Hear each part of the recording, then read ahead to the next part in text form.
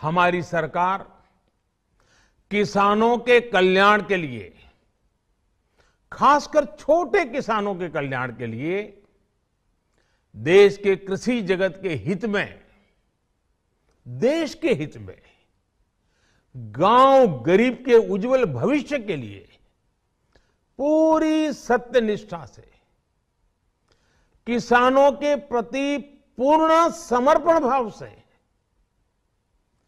नेक नियत से ये कानून लेकर आई थी। लेकिन इतनी पवित्र बात, पूर्ण रूप से शुद्ध किसानों के हित की बात, हम अपने प्रयासों के बावजूद कुछ किसानों को समझा नहीं पाए। भले ही किसानों का एक वर्ग ही विरोध कर रहा था, लेकिन फिर भी ये हमारे लिए महत्वपूर्ण था। कृषि अर्थशास्त्रियों ने, वैज्ञानिकों ने, प्रगतिशील किसानों ने भी उन्हें कृषि कानूनों के महत्व को समझाने का भरपूर प्रयास भी किया। हम पूरी विनम्रता से, खुले मन से उन्हें समझाते रहे। अनेक माध्यमों से व्यक्तिगत और सामूहिक बातचीत भी लगातार होती रही। हमने किसानों की बातों को, उनके तर्क को समझने में भी कोई कोर कसर बाकी नहीं छोड़ी। कानून के जिन प्रावधानों पर उन्हें ऐतराज था सरकार उन्हें बदलने के लिए लिए भी तैयार हो गई। दो साल तक हमने इन कानूनों को सस्पेंड करने का भी प्रस्ताव दिया। इसी दौरान ये विषय माननीय सर्वोच्च न्यायालय के पास भी चला गया। ये सारी बातें देश के सामने है, इसलिए मैं इनके अधिक विस्तार में नहीं जाऊँगा।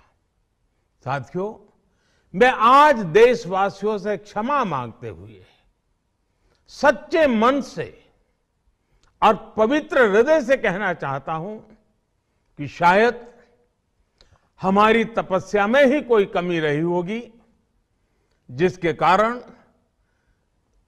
दिए के प्रकाश जैसा सत्य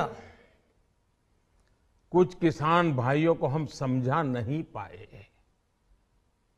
आज गुरु नानक देव जी का पवित्र प्रकाश पर्व है। ये समय किसी को भी दोष देने का नहीं है।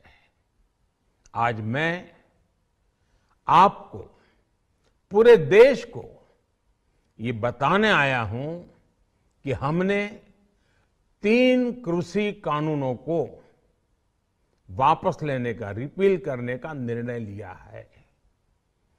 इस महीने के अंत में शुरू होने जा रहे संसद सत्र में, इसी महीने में, हम तीनों कृषि कानूनों को रिपील करने की संवैधानिक प्रक्रिया को पूरा कर देंगे।